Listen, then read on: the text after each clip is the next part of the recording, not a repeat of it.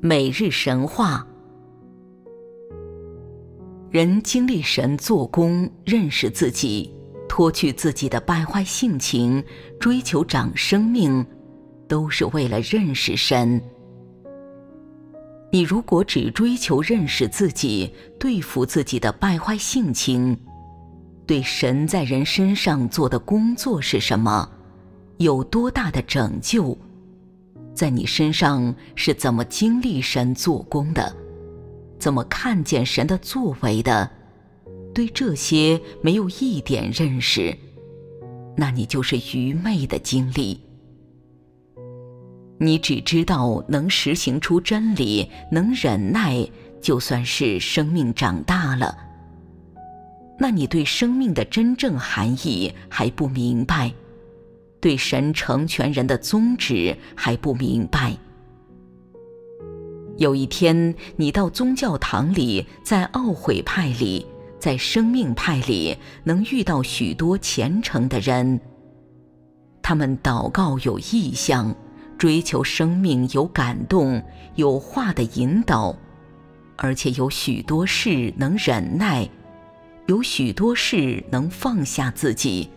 不按着自己肉体来，那时你就不会分辨了。你会认为他们做的都对，都是生命的自然流露。可惜就是信的名不对。这不是愚昧的看法吗？为什么说有许多人没有生命？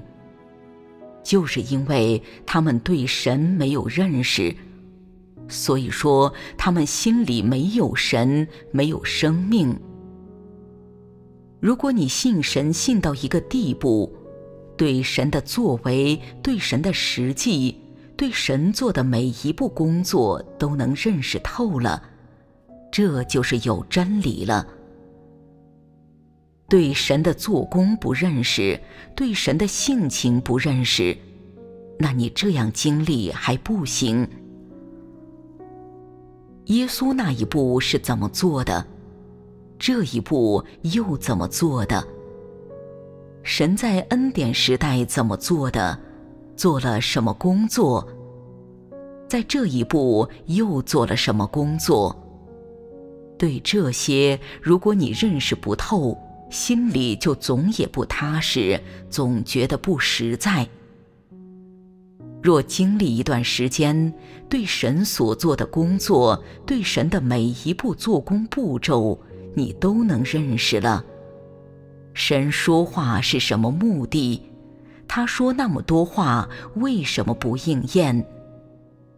对这些认识透了，你就可以放心大胆地追求前面的路了，也不担心，也不受熬炼了。你们应该看见，神做许多工作是借着什么达到的？就是借着说话，借着多种说话来熬炼人、转人的观念。就你们所受的苦、所经历的熬炼，里面所接受的对付、所经历的开启，都是借着神的说话达到的。人因着什么跟从神？因着神的话语。神的话语奥秘无穷，而且能够打动人的心，能揭示人内心深处的东西，使人能知道以往的事，能看透今后的事。所以说，人因着神的话而受苦，也因着神的话被成全。人是在这个时候才跟从神的，在这一步，人就是接受神的话语，不管被成全也好，受熬炼也好，关键还是神的话语。这就是神做的工作，也是人今天该认识的意象。